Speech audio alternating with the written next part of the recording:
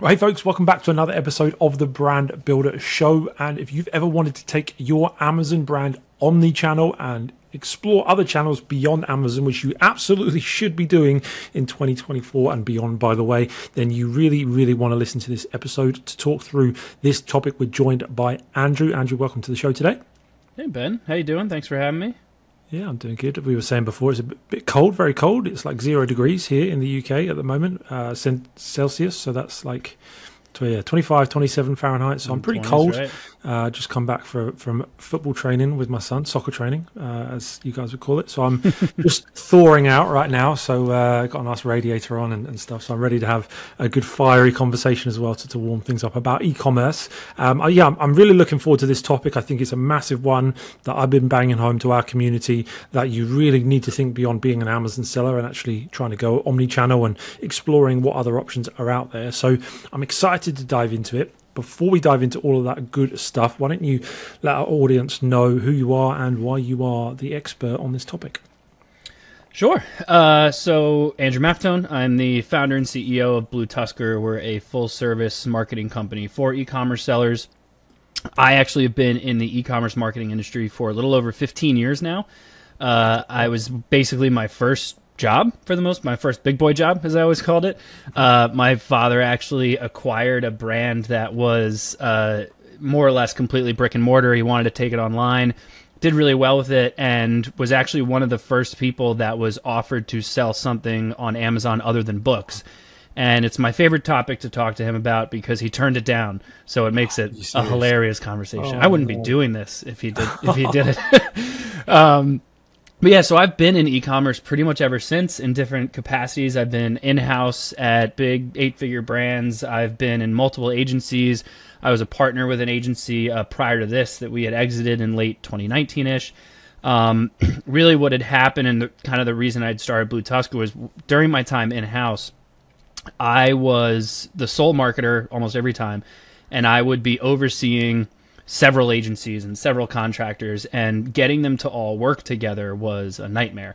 And so, what I knew I wanted to do was develop, which is a little bit of a kitschy term, but a little bit of like an agency of agencies. Okay. So, yeah. our team are all specialists in their certain areas. Everyone has, you know, we have a strictly an SEO department, paid ads department, marketplace department, website design, etc. Yeah, yeah. And really, that allows us when we're putting our account strategists kind of act as fractional CMOs. So when they're putting a campaign together or something, it allows us to oversee the entire thing. And then the reason I am, I always am preaching omni-channel uh, at that same time when I was in house, I had started working there for like I think it was like three months or something like that. And it was this was uh, 2005, no, not that far ago. Sorry, 2015, 2016, somewhere in there. So Amazon still in its heyday of, of new sellers making good money and it was I think eighty something percent of our revenue. And we were two weeks into uh, the busy holiday season, right around this time of year, actually, at least as the time of this recording. And typical, you know, uh, a big seller spending a lot, credit card maxed out, couldn't get it cleared in time, so we went to switch the credit card. For whatever reason, Amazon thought it was fraudulent, completely suspended the entire account for two weeks during the back end of Q4. Oh. And I thought I was out of a job. I thought, like, we got to get more revenue on the website so that I'm not so reliant on this. And I, ever since then, as I started to get deeper and deeper into it, I've had more and more horror stories like that. Plus, I've learned a lot about the acquisition side of, you know, when someone goes to sell, if they're just on Amazon or not. So, really, like, all signs point to omni-channel, so it's been a big focus of ours uh, for years now. Perfect. Well, that's a great setup for the conversation, really. For our listeners that are maybe just selling on Amazon, why don't you uh, kind of give us a bit of background on on what does omni-channel even mean? You know, go back as far as that, and then you know what are the benefits of of going omni-channel for for Amazon sellers. If you're solely selling on Amazon, um, really you can start different tactics from an off Amazon perspective to, to really focus still on your Amazon business. You don't have to go from Amazon to a website and jump into everything. There's ways to really ease into that. But when I refer to omni-channel, I'm referring to brands that have you know their own website and then they're also available on Amazon and Walmart and eBay and Chewy and Wayfair wherever else they have and using their marketing strategies to manipulate the audience into going into whichever direction they need it to based on where the brand is at at that time. Mm. So we put strategies in place where sometimes we might be driving a lot of traffic to Amazon. Sometimes we might be using Amazon as more of a customer acquisition channel and we're trying mm-hmm. to bring people back to the website. Yeah. It could be the same thing for other marketplaces. So it's really about developing more of a holistic marketing approach across all of your sales channels as opposed yeah. to what tends to be the case, which is a lot of sellers that will focus uh, their marketing initiatives on individual sales channels, almost like treating them like separate businesses. We come in and treat it as one holistic business to do what we can to bring in, obviously, as much profit as possible, but also really grow that customer base. Yeah.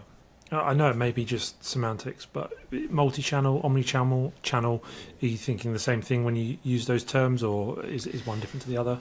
More or less when i kind of when i think multi-channel i think that you're a multi-channel seller so you sell on a lot of different channels but an omni-channel strategy is really having your marketing overlooking the entire concept. So having different aspects of where you're directing traffic and things like that like a lot of sellers will solely look at their amazon business and then that's all they focus on then they have their Walmart aspect, and that's all they focus on. Then they have their their website, and that's all they focus on. They treat them like like let's say in that scenario, three separate brand, three separate businesses, almost like three separate brands. Yeah, yeah. An omni-channel approach is more of how do we treat these holistically and let our consumers shop wherever they're most comfortable and have our marketing initiatives be a little bit more aware about where the products are available depending on where that consumer prefers to shop.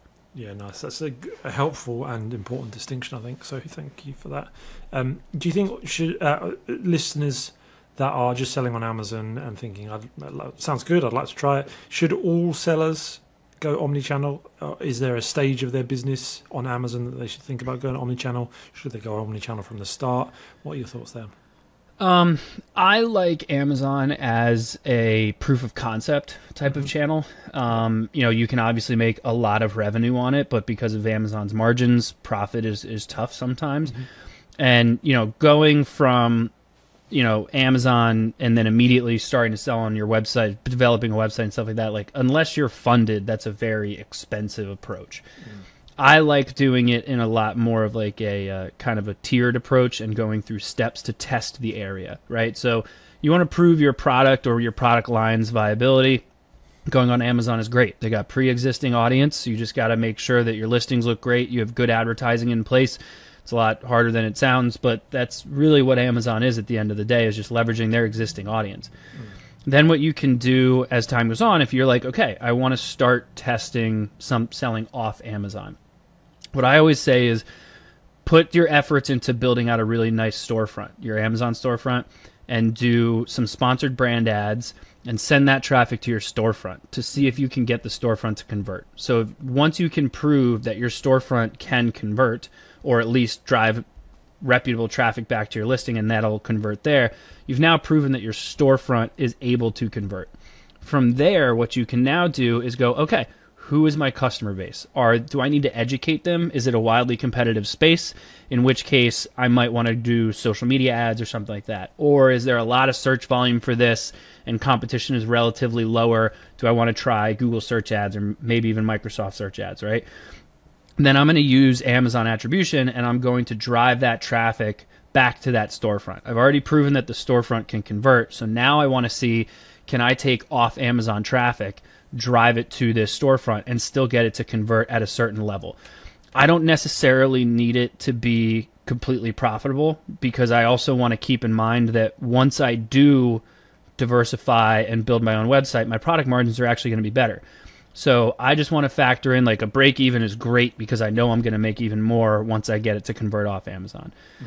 Once you prove out the storefront, then it's your choice, right? You have the option of you could invest into building a website and starting the, the process, the, the, the really what the end goal is, or you can still ease into it and you can do maybe you just do a landing page. Maybe you focus on just a single product for a little while or a bundle or something like that.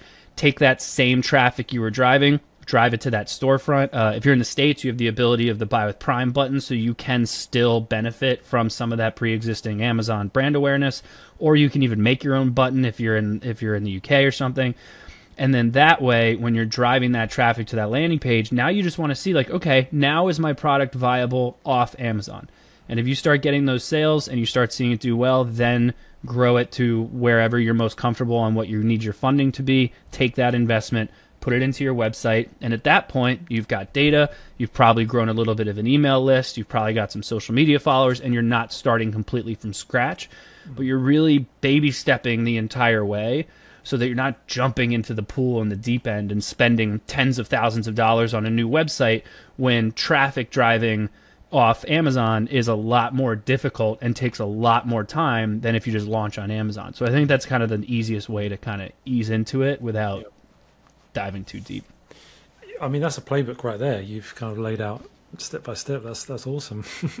um, yeah.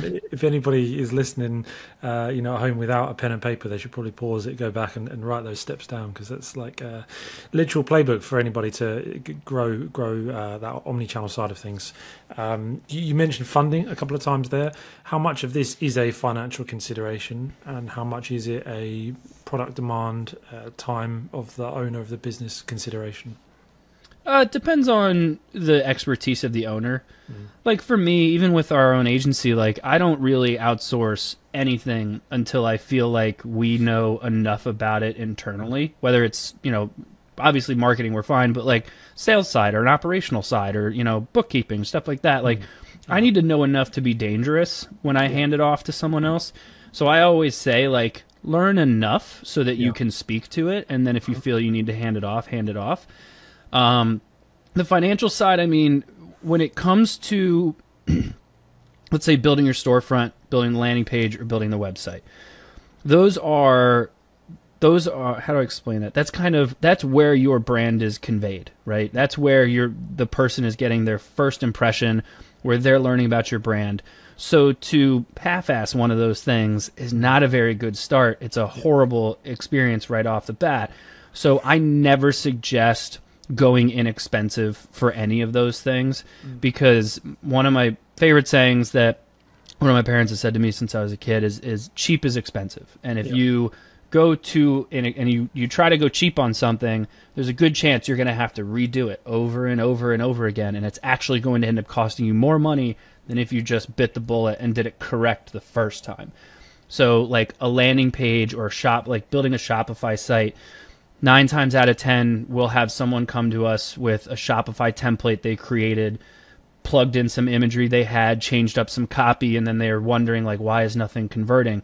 And you've got to remember that once you start venturing away from amazon you're competing with yourself on yeah. amazon. So you have to provide a great experience a great customer experience. It needs to be personalized because amazon's not really personalized. Amazon is just this vast uh, marketplace of stuff. So if you can make it very personalized and let them really enjoy their experience, they'll of course continue to come back. So you've got to keep that stuff in mind when you're when you start to venture away as well. Yeah, yeah, nice man. Do you typically build out the stores on Shopify? Yeah. So we, as full service, we do everything on the marketing side. So we do a lot with Amazon advertising and listing optimizations, storefronts, campaign management, that kind of stuff. Um, so we do a lot with the storefronts. We're Shopify partners, so we usually tend to lean towards that. But we build out uh, landing pages and websites all day long, and we also have partnered with um, Buy with Prime. So a lot of times we'll incorporate that kind of approach as well. Yeah, nice, nice. For people that have an existing audience or audience is a strong word for Amazon sellers, but maybe you know branded search is growing and people are starting to recognize their brand on Amazon. How can you leverage that when everybody is so afraid of driving traffic away from Amazon with inserts and there's like what's acceptable, what's not?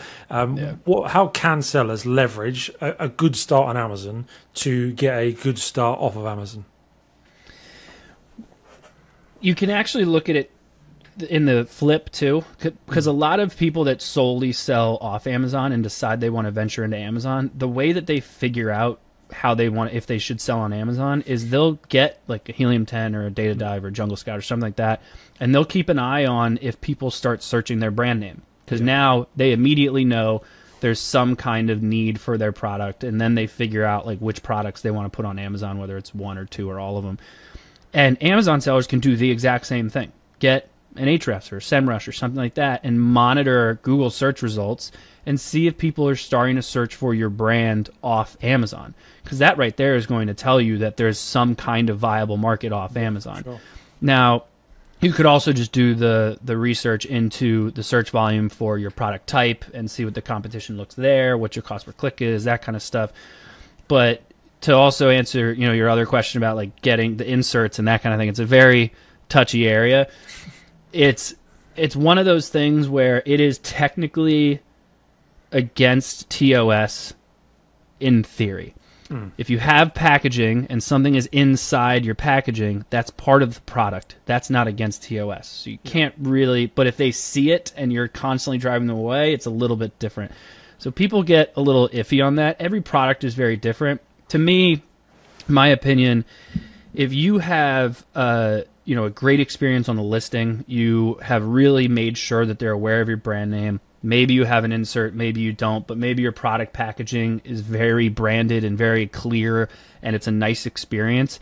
They're going to immediately be curious about the rest of your brand. Mm-hmm. So if you actually just elevate the overall experience, they will eventually get some kind of interest to then come over to, you know, your uh, website or something along those mm-hmm. lines. Do you generally recommend people take one successful product, say a new brand, you know, launches with uh, one or two products, a small product line, and then go omni-channel, or would you say double down on one channel that's working well, grow your product line before expanding out to channels? I think it depends on the product line. Mm. I think the the thing that's very frustrating with Amazon is like, you know, you launch one product and it does really well, awesome. Then you launch a second one, you're starting all over again. Yeah. There is no you know, yeah, you can have followers on your storefront and like kind of do some email stuff and whatever, but it never really goes as well as you want it to. And you've got, you know, you're launching a new product, you've got that like 60 to 90 day honeymoon period before your organic ranking goes to where it's going to go with everyone else. So it kind of depends on the product line. I like the idea of adding in variations and improving on that single product mm-hmm. and then finding something that's complementary to that product so that if I do need to make it a second parent listing, I can do like my own sponsored display ads, or maybe I do like comparison chart kind of stuff in A plus, like something I can do to leverage the existing asset, which is that initial uh, good listing that's doing well to get over to the new one. Um, but it, it, it can really depend on the product line. Venturing off Amazon when you've only got like a handful of products and you know you go omni-channel can be very difficult mm. people want to also while they while they want to feel like they're part of a cool new brand and they want to find this cool new product and that kind of stuff they also want to kind of have like a one-stop shop and that's the big benefit of amazon right like i can get everything for my house as well as the coolest new gadget in one place if i go to a specific website i can't do that so you've got to not only provide a very good experience but probably need to have a semi decent offering, or your product needs to be so differentiated that there's that's where you want to end up going to get the website. Like I use coffee as an example all the time. Like that's very very difficult to get going on Amazon and it's even worse to get it going off Amazon because it's so crowded. So it kind of depends on like the approach you want to take with it. Yeah. And I would be interested to hear about that approach because a lot of Amazon sellers try to launch their own store and think, well, I'm, I'm making, you know, 20, 30, 40, 50 sales a day on Amazon. There's so much volume for this product. And then they launch their own store and it's kind of, you know, crickets. And then they have to delve into the world of paid advertising, etc., etc. What is your approach when you do take a, a brand uh, omni-channel? Is it a lot of paid ads or are you leaning more on uh, organic these days? What's your sort of go-to strategy there? Um, you know, I'm gonna sound a little bit like a broken record, but it really kind of depends on the product, right? Yeah, yeah. Like if your product is, uh, let's say it's either in a really competitive space or it's like wildly differentiated. So like maybe it's an invention or something like it requires a lot of education. Mm. Social media is going to be your best play because you need to have some video to get in front of someone to educate them on why the product is better than the competitors or how it works or something like that if you've got a good amount of search volume and not that much uh, um, competition, Google is a great way to go. Search engine marketing, SEO is another great way to go.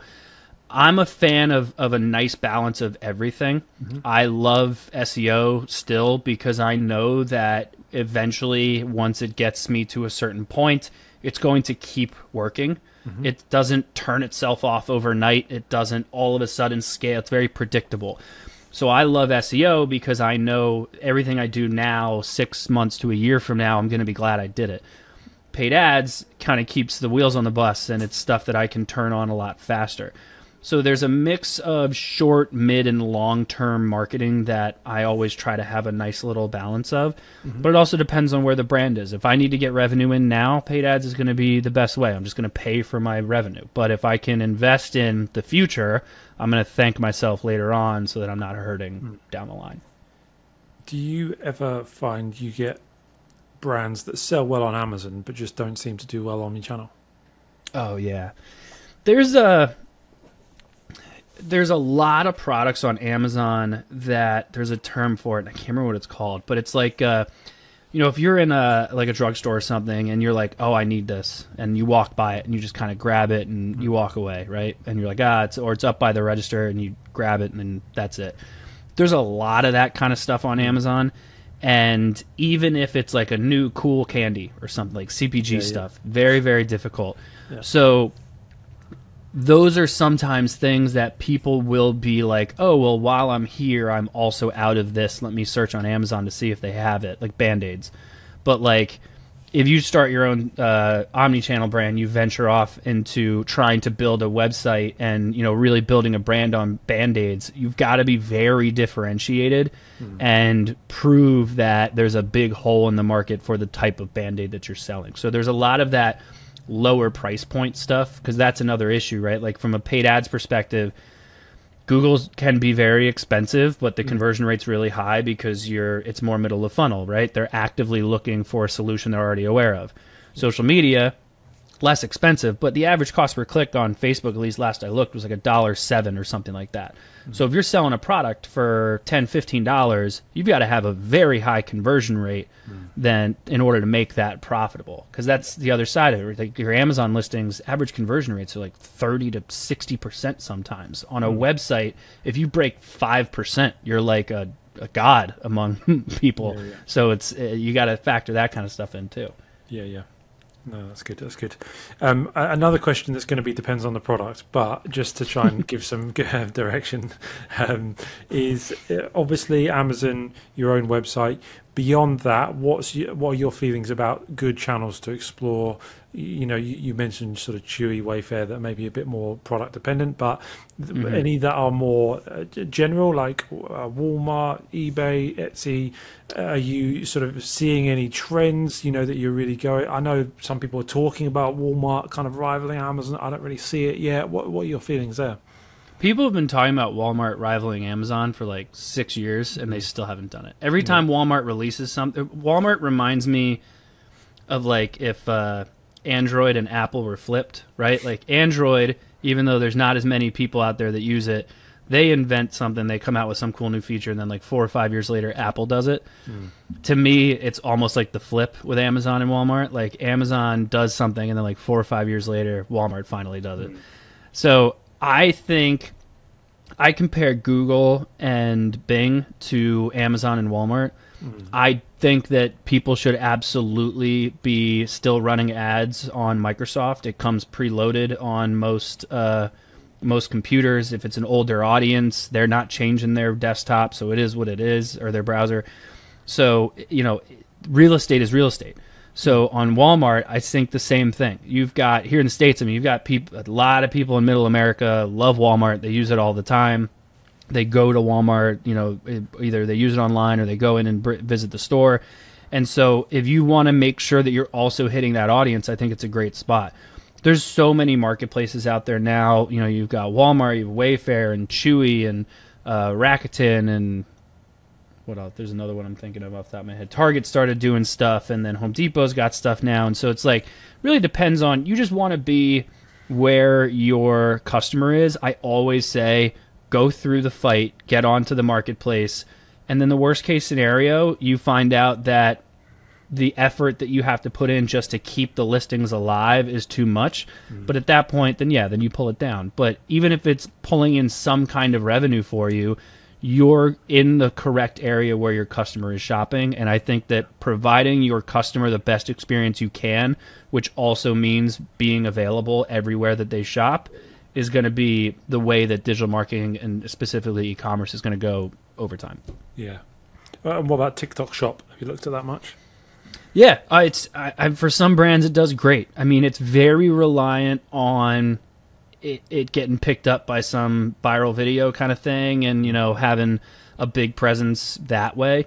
Yeah. Uh, you know, TikTok is is a lot. It's a very very different platform compared to you know prior social media channels. The content you got to create on there is very different, and you've got to change it like every few days.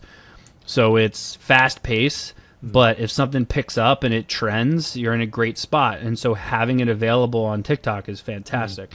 I it's not hard to get set up on it, you know, especially with Shopify, you just feed it directly in. Mm. And then if you're doing any kind of influencer marketing, it's almost a no-brainer. Mm.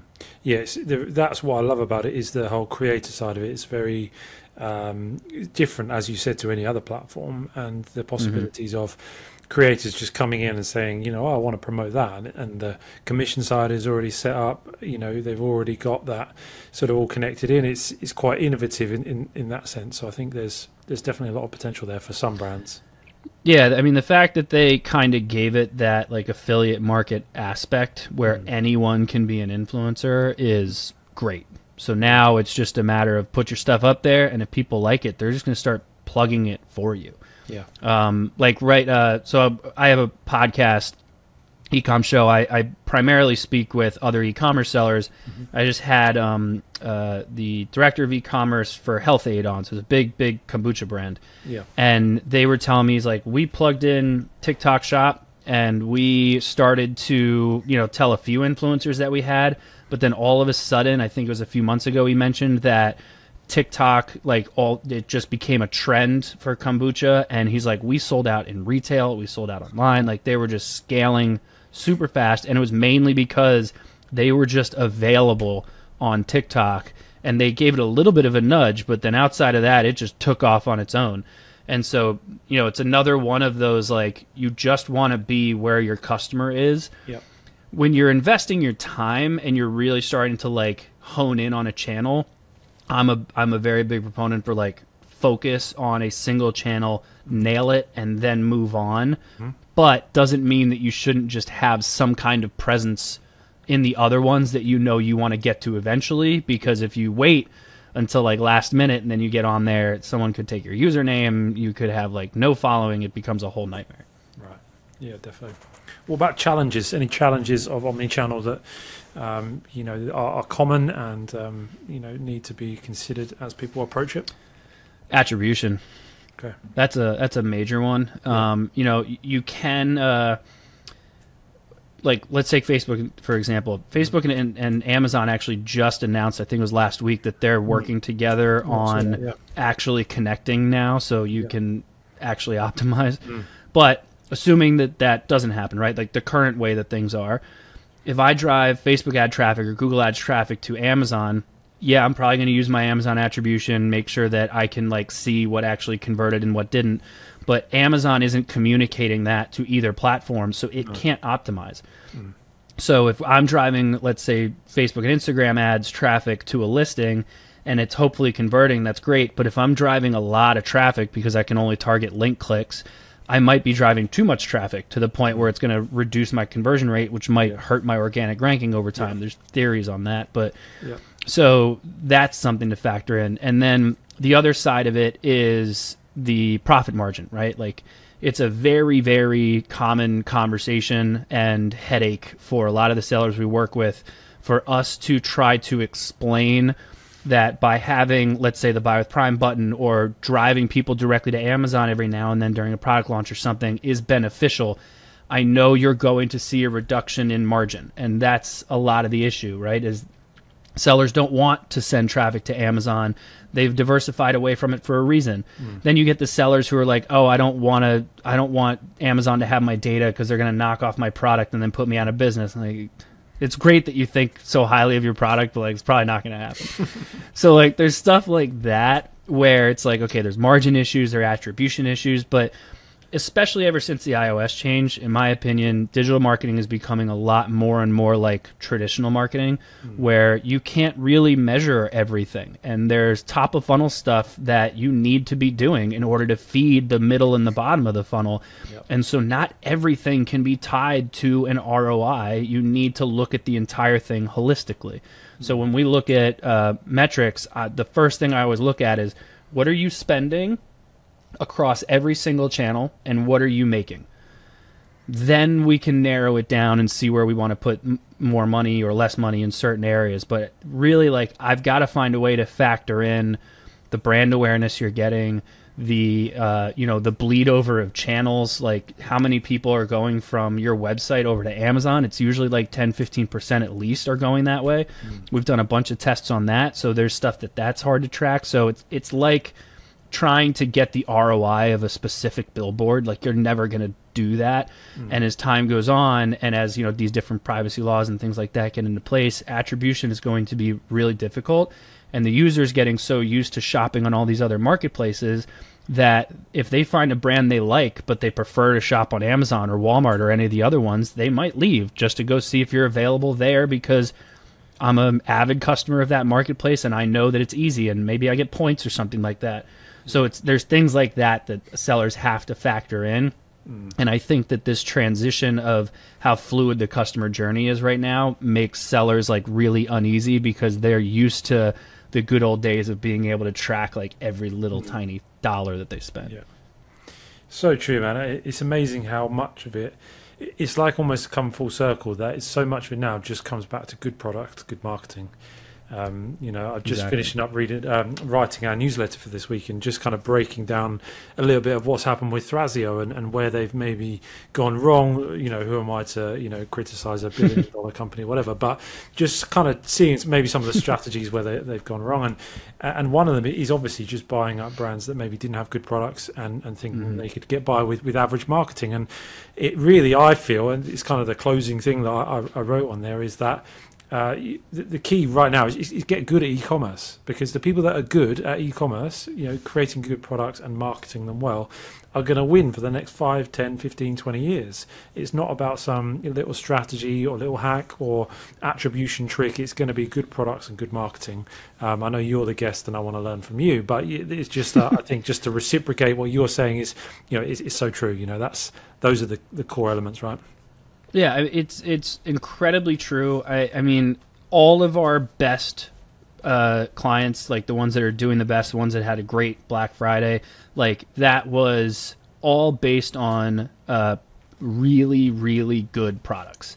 The guys that are like, oh, we're still tweaking things, we're still updating stuff, like you get into this issue as a marketer of like, okay, you know, they're this person wants to pay us and they have the funding to do it and this is the direction they want to go and we do know this this industry so let's take the strategy and, and implement it. But at the end of the day when the customer starts getting the product in their hands i can only do so much. Yeah. a marketer's real job is to get people to become aware of the product and how they can buy it when they're ready. We're not salesmen we're just supposed to walk them through, make them feel a certain way on why they might want the product at a certain point, and, and make sure it's top of mind when the decision comes for them to purchase. And if it's a great product, it's going to happen. So marketing becomes very, very easy and it makes us look great. But if you've got a product that's like kind of like iffy and we're trying to figure out like how do we dodge all these reviews, like at a certain point, it's like you really need to even there's even been times where like, can we please pull back our ad spend? Let's let's stop some of the strategies we're doing. Hold for like three or four months so that you can keep that that that revenue, and please invest in like mm-hmm. fixing some of the product issues because I can't. At a certain point, it's not marketing's fault; it becomes product mm-hmm. fault. Good product sells itself. Marketing just makes sure it's in the right place. Yeah, definitely. great thoughts. It's obviously a massive topic going omni-channel, um, but just to sort of round things off, are there any key th- things that we've missed, or any kind of like final closing thoughts that you would have around successfully taking a, a brand omni-channel?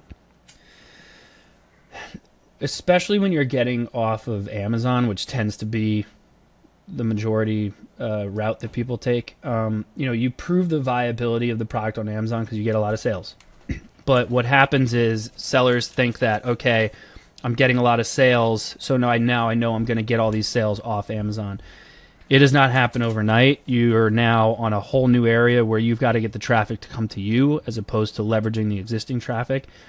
But when you get off of Amazon, you have to know your customer better than anyone else. Who is your customer?